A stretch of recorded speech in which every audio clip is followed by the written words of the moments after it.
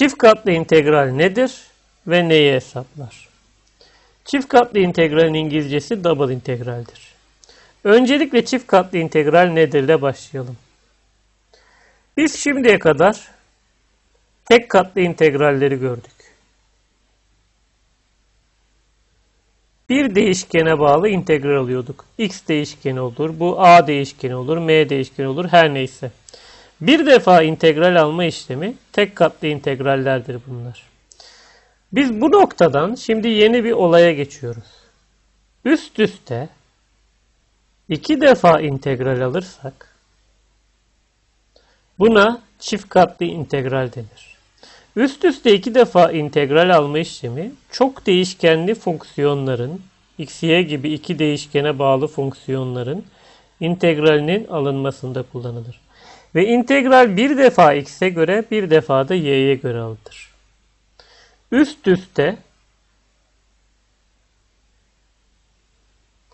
iki defa integral alma işlemidir.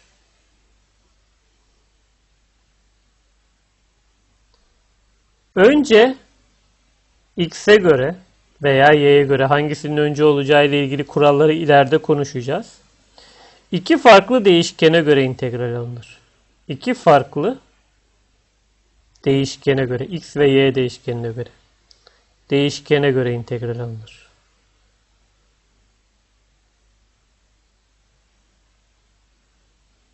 Şimdi bizim en temelde çift katlı integralle ilgili bilmemiz gereken şey çok değişkenli fonksiyonların üst üste iki defa integralinin alınma işlemidir. Ve iki farklı değişkene göre integral alınır. Bunun nasıl integral alındığını bu yöntemle bu videoda değil de bundan sonraki videolarımızda işlemeye başlayacağız. Şu an için sadece bilmemiz gereken şey çift katlı integral üst üste iki defa integral alma işlemidir ve çok değişkenli fonksiyonların iki farklı değişkene göre integralini almadır. Şimdi peki neyi hesaplar bu? Çift katlı integral neyi hesaplar? Şimdi hatırlayacak olursak tek katlı integraller alan hesaplamada kullanılır. Bu fx fonksiyonuyla x eksen arasında kalan alan. Şimdi çift katlı integraller neyin hesaplanmasında kullanılır? Bir, alan hesaplamada kullanılır. Aynı tek katlı integralin yaptığı alanı hesaplama gibi. Fakat yöntemsel bir farklılık vardır burada. Bununla alan hesaplamayı ileriki videolarımızın birisinde işleyeceğiz. Eğer ki çift katlı integralin bu içerisine çok değişkenli bir fonksiyon değil de sadece ve sadece bir yazılmış olursa bu integralin bir çift katlı integrale baktığınızda içeride hiçbir şey yazmıyorsa veya direkt biri yazdılarsa bu integralin alan hesapladığını anlamalıyız. Çok nadiren yapılacak bir şeydir. Tek katlı integralle yaptığımız bir şeyi değişiklik olsun diye bir de çift katlı integralle yapıyoruz özünde. Bununla çok uğraşmayacağız. Çok az yer tutacak kısımdır bu çift katlı integralde. Asıl olayımız budur. Hacim hesaplamada kullanılır.